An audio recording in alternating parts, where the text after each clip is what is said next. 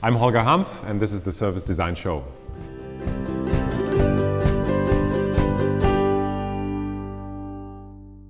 I'm Marc Fonteijne, and welcome to the Service Design Show. Uh, today we have a special episode as we're uh, here live at the Service Design Conference in Amsterdam that is taking place on October 27 and 28. Uh, I have a special guest, uh, one of the keynotes, actually the first keynote on the opening day, uh, Holger Hampf. Welcome to the show. Glad to be here. Holger, um, you work at BMW. Could you tell the people a bit what do you do at BMW and why why a service design mm-hmm. conference? Yeah, I work at BMW in uh, Munich and um, I work for uh, the design division of BMW, so that's the design department out of Munich. Um, Adrian van Hooydonk, the head of BMW Group, has a team of uh, people around him that are responsible for the brands. Um, Mini, Rolls-Royce, BMW obviously, and Motorrad. And uh, I'm uh, responsible for the development of the user interface and the digital experience in the car across brands. So what brought me to the service design show? Um, well, originally an invitation from Erik. Um, Who was one of the previous guests also on the show. Yes, exactly. Yeah. And uh, yeah, we, um, we, we started to talk and, and he found obviously uh, a great interest in mobility and the automotive industry. So uh, I agreed to uh, open the show yesterday. Cool. Holger, um, mobility and uh, car manufacturers maybe aren't the first companies that people think about when they think of service design. I'm really curious, uh, can you do, you, do you remember your very first encounter with the term service design, with the profession service design? When did you hear about it? Well, I would say that was long before I joined uh, BMW as um, the, the, the, car uh, or the car division of BMW. Um, I was at DesignWorks um, in, in the USA, and uh, we've had multiple clients besides uh, BMW as our core client. Um, one of the clients we um, built a very strong we built a very strong relationship with was uh, Hewlett Packard, HP. And uh, HP back then uh, was in the business of producing printers, for example, uh, hardware, um, inkjet printers you have at your home yeah, yeah, or in the business. Yeah, yeah. But um, they themselves started to uh, have a line under their email, say like, uh, uh, please consider printing this email. and that was the end of uh, it pretty much. Um, so we've talked a lot about service design and how you can provide uh, printing services, for example. That was some 12 years ago. Yeah, and uh, um, I, I, guess a lot has happened since then, right? In, yeah. in the terms of service design. How, how, how is um, service design now related in your profession? Because you said uh, you're into the user interface department, user experience. Mm -hmm. How do people talk within your department about service design? Is it a topic that is on the table? I would still say that uh, the, the term service design is not um, yet established in the way that uh, I experience it here at the, at the conference. Um, however, we talk about it every day. We talk about uh, how we can um, uh, how we can improve or actually get to a level of service quality in the same way that we reach with our products. Right. Yeah. That, that because that was one of the highlights for me during your presentation. You of course have a pre premium brand and you have craftsmanship in making fantastic cars. It, it's uh, the same ambition towards creating the same level of services, right? That, that, yeah. That's interesting. How does a BMW service look like and feel like? Mm -hmm. I guess it must be an interesting uh, time within a, a car manufacturer. Well, it is very interesting. I mean, it is not only because of the introduction of service design, but it is also uh, just uh, because of many changes happening around us uh, in the terms of individual mobility, for example. Uh, and um, I've heard some other people already say that uh, the car industry will change more drastically over the next 10 years than it has changed in the last 100 years. So we're basically, we have to um, be very open um, to kind of um, uh, take a look at these changes and see how much they can influence us or will influence yeah. us. Yeah, and they will influence us, like you already said. Holger, uh, as part of the service design show, we're going to do the format that we do in every episode, and that is that uh, you have a bunch of question starters, and I have a, few topics that you suggested we should talk about. So um, let's just start, and I'll pick one of your topics and invite you to to pick a question starter that goes along with that, and then we'll see what kind of conversation we have from that. Right? Very well. All right. Um, interesting. Let me uh, let me start with the one that um, uh, puzzles me the most, and this is the one uh, I'll show it to the audience. And if you can pick a paper, a question starter that goes along with that one. So I've picked a topic of freedom. Mm-hmm. which question starter goes along with that one? So much. Let's start with an easy one. Why? So, all right. Why freedom? And what do you mean? That's maybe the first question. Uh, well, uh, I think you know the, the, the, the, word freedom seemed interesting to me to talk about because it is um, kind of an intrinsic uh, human value. Uh, we want to feel free in our lives, and uh, I think um, applied to the automotive um, field, um, the car always um, symbolized freedom to us. I think uh, it, it, it um, allowed us to go wherever we wanted to go, um, to go to places we, we cannot reach by public transportation or by bike or by foot. Um, the car in, of, in of itself, in, in, in, in my garage, uh, was always kind of also a, um, a product of achievement in mm. a certain way and provided freedom. Uh, when it comes to today's uh, uh, context, I think um, the freedom is sometimes um, limited, more limited, because of uh, things happening around us. Let's uh, think about traffic mm -hmm. and mm-hmm. think about urbanization, um, growing population, and so on. And the car is not uh, necessarily always only the element of freedom. Um, so my question, um, or the question I was uh, asking myself is kind of how can we extend the, the, the feeling of, of freedom also uh, potentially through services? Yeah. Um, and yeah, that, so, so, that's that's maybe your biggest design challenge at this moment. How do we design for freedom? Is that a question that? Yeah, for people to feel free and to feel independent, yeah. I think that's very important. And, there, and, a, and a car can be a tool, or a utility that provides freedom, right? Correct. Yeah. So what um, what are the questions you have around this topic? So what what what what keeps you awake when you think about freedom? Um, well, you know, I, I, uh, I work daily with uh, digital experiences, user interfaces, uh, also complex applications that allow you to um, do things faster, more efficiently, and hopefully also with more fun. Uh, think about a navigation system, mm. think about accessing music in the car. Um, but on the other hand, I also think that uh, we are currently in a time where technology is sometimes providing more of a burden than it actually delivers freedom. So the mobile phone, correct, instance, right? Yeah. yeah, yeah. We're, we're kind of some people say we we're tethered to this thing. We're babysitting the phone in our po pockets, uh, and um, yeah, I want to kind of see how we can overcome this um, perception of, of burden mm.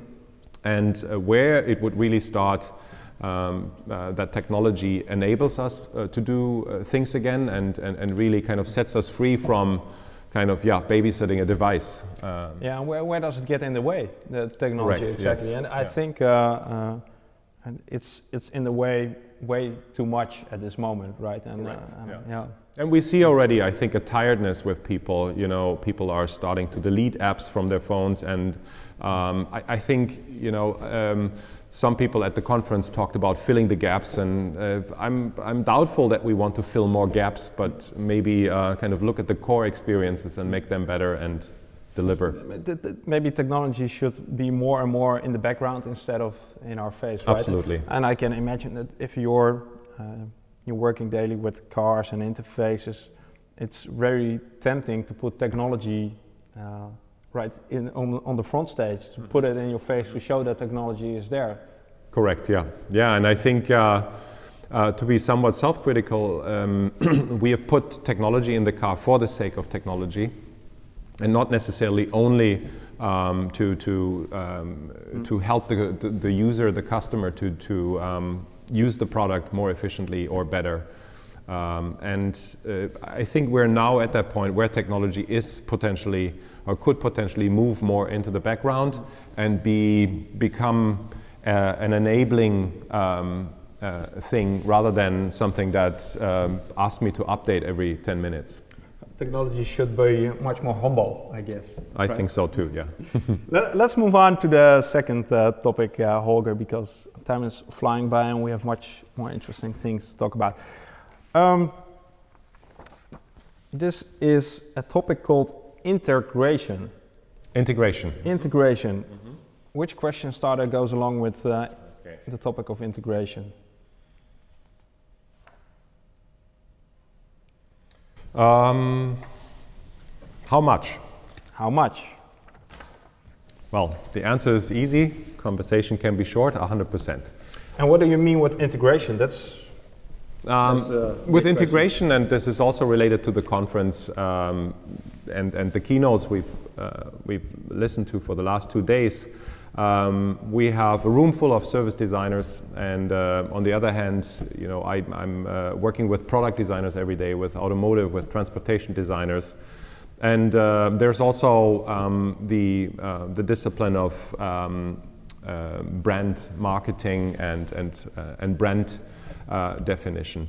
And I very strongly believe that um, all three uh, disciplines have to work very closely together and integrate to achieve an ultimate experience. So it's, it's, product design, it's service design, and it's marketing. Are those three the yeah marketing, branding, uh, branding yeah brand strategy, yeah. correct, yeah. yeah. Mm -hmm.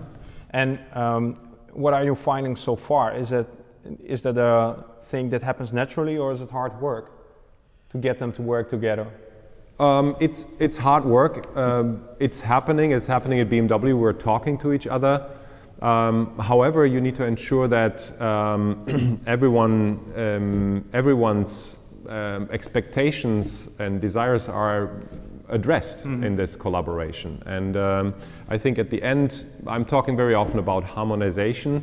Um, and we all know that uh, on, a, on a customer journey, you have multiple touch points, and if one is uh, a really bad experience, it, it, has, um, yeah, it has an effect on everything else, on the entire journey. So kind of by picking these points that are either brand strategy or brand positioning, that are kind of how the product feels, and also how you design a service, uh, you have to make sure that all of them are at an equal uh, level of quality, very high what's needed to get them to be on the same page? Um, well, it needs, uh, first of all, that each of the disciplines delivers um, a, a, very high level of quality in of itself. Um, and again, with BMW, you see that the products they deliver already. Kind of, I think we've reached a point where kind of the car might be perfect as a product mm as it is. Mm uh, with electrification, it might be more perfect. But um, I think each of these things uh, have reached, um, uh, these disciplines have reached a high level of quality. Now it is about kind of linking them together and, and, and uh, making them work together as a system. Mm -hmm. But um, naively, as I would say, I'd say these people have a design mindset already in them. It should be pretty easy to get them uh, to work uh, along uh, and achieve the same goals, but hmm. it's, it's, it's more tough in real life? Um, well, I, I, think again we are at an interesting point in time where, uh, when you look at service design, uh, we're just about to really understand how to put the customer or the user at the center of our thinking. Um, uh, again, it's it's almost this process of moving from a product centric to a to a customer centric um, type of work or, or, kind of way to work, so to say. And um, we ourselves are very often surprised by, um, by, by um, witnessing what people actually do in a car. Uh, not only driving, I tell you that. And um, so, service design, a user centric approach, can help us to better understand what people really do. We observe people, qualitative research mm. tells us how we can design our product even better to address these different um, so, so use, is, use is, cases. It's maybe uh, design research and qualitative research um, a key element into getting everyone aligned? Because I can imagine once you have insights from real users, it it's it's become so obvious that you need to Mm-hmm. work on this together. Yeah, absolutely. It's, uh, it, it's giving us a much greater degree of insight. Um, and we all know, coming from a time of, let's say, online surveys or filling boxes, uh, you don't really get this kind of deep insight. And uh, witnessing people, observing, doing drive alongs, for example, um, tells us much more how people actually um, interact with their product, use it, and so on. Yeah. How it fits in their daily life. yeah. All right. Take the example of a cell phone, you know, that's always out. People are texting while they drive, people are using um, navigation systems on top of their um, built in navigation systems. So, what do we have to do to uh, prevent also um, scenarios that are uh, quite unsafe? Uh, because that's important in the automotive context. Yeah. Yeah, unsafe scenarios. Um, okay, let's do the third topic, uh, Holger. Uh, Sure. and it's a fun topic because it's the topic of joy. You, you've chosen you some saved sur- that for the. you've chosen some surprising uh, topics. Um, how can we? How can we? And how can we? How can we what? How can we um, achieve joyful experiences, maybe? Um, and yeah, again, I, I chose this word because uh, joy is at the center of our um, a set of brand attributes. Uh, we have uh, at BMW several um, brand attributes like uh, sportiness, dynamic, um, and, and joy is at the center of it. And I think, you know, if you, if you look at the BMW um, subline, sheer driving pleasure in English, Freude am Fahren in Deutsch, uh, we always try to deliver a joyful experience with our products. If it's no fun to drive a car, then yeah, okay, that's not ours. It's just a utility. Yeah, it's just a utility. So um, while I think utility, there's nothing wrong with it, we always want to combine it with a joyful experience. And um, obviously, one of the things that um, also keeps me busy is how to translate a joyful driving experience to a joyful digital experience, for example. Why digital?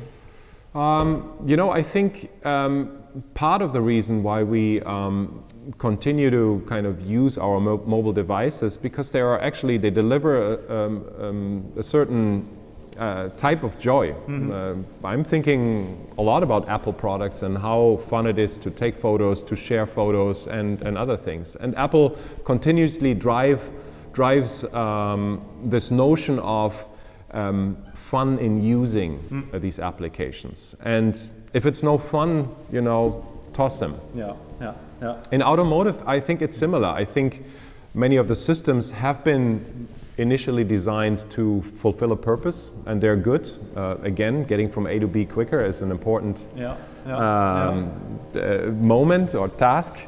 But um, I'm, I'm also looking uh, in how far a user interface or an interaction with the car can deliver joy, can put a smile on your face, really. That's that's. I can imagine that that's really changing, as in, uh, if I look at myself, how I perceive a car, it's not per se. Uh, when I look at the car, it's not per se a joyful memory that comes to, to mind, but it's it's more of the utilitarian thing. So there, uh, maybe it's it's just me or or a generation, but do you see a shift in there that you need to really adapt and change things?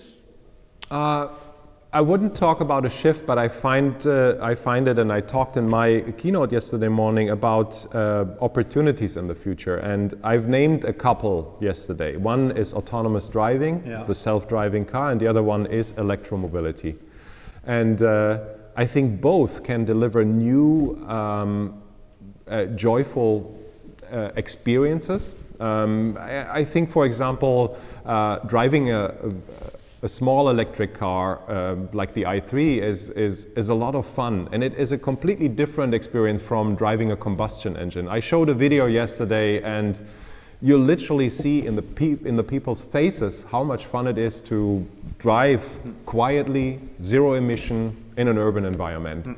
and how to kind of extend that into other experiences around peripheral experiences is, is, is uh, super interesting. Yeah, because that's uh, that's what puzzles me because right now you as BMW you have the option to move beyond the car, I guess, right? Uh, we, you have the, the, the metal box, Yeah. and then you have maybe things on your phone or Mhm. I don't know what kind of stuff you develop more. But that, there's a, a, a whole new playing field is opening up.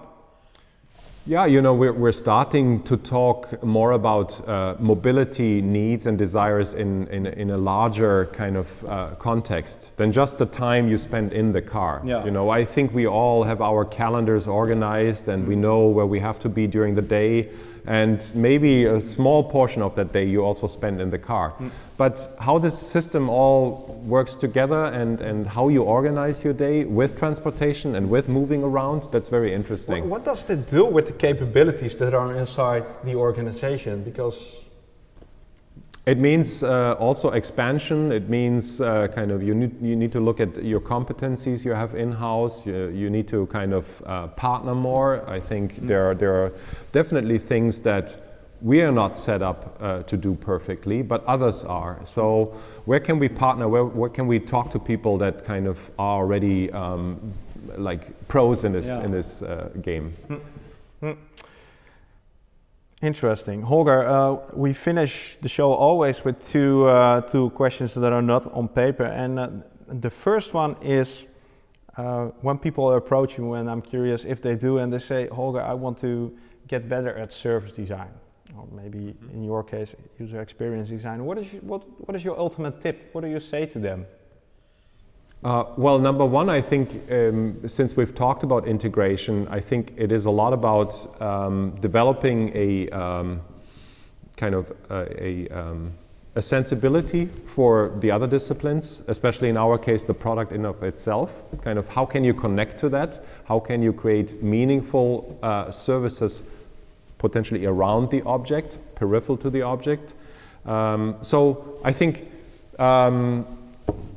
Being anticipatory and being sensible um, uh, towards uh, other uh, things that play a role in this larger system is very important. Don't look uh, at service design through kind of a, um, a very um, kind of narrow viewing field of view. Number one, yeah. Yeah, well, uh, an important thing because being here in Amsterdam and being sur- with, surrounded with service designers is really easy to, to be live in the bubble, I guess, right? And uh, think that the whole world looks like this. Make, making the bridges, that's what you're basically saying, right? Br- creating bridges. making the bridge and also uh, maybe not always um, I, I'm I was very um, taken by the by the fact of new uh, work processes in service design. I think they su- uh, like service design is suggesting um, new ways of collaborating, new ways of exchanging data with each other and knowledge with each other. And um, here's obviously um, um, something to learn for us. Uh, you know, I, I, think there's a certain openness and uh, kind of a certain um, openness to, to share things, which um, I haven't I haven't so far felt in, in product design. Well, I, th- that's a good thing, I'd say. We need to keep that as a community. Holger, to, to wrap this up, um, you've gave a lot of insights, uh, but I, um, you must have big questions. You must, uh, you must walk out the door here, be on the plane to, to back to Munich, and think, how am I going to do this? And what, what is the question? What is the question that's currently on your mind? Um, well, I mean, one question is how can we better integrate service design and continue on this path of um, kind of a uh, yeah um, uh, approaching mobility as a, as a system, individual mobility. How can we do that uh, and still continue on our path of delivering joyful experiences? Um, so, I think it, it is about picking the right building blocks uh, for the system. And um, obviously, I'm thinking a lot about which are the blocks that I need. Interesting. And if people have ideas about that, then feel free to comment on uh, on the episode. Holger, uh, thanks for being part of the show. Um, before you leave, we have a small gift that we've been handing out to some of the uh, guests who were on the previous episodes, and it's uh, you, you've seen it already. It's a unique example, and uh, I want to hand over your. Uh, this is the other one.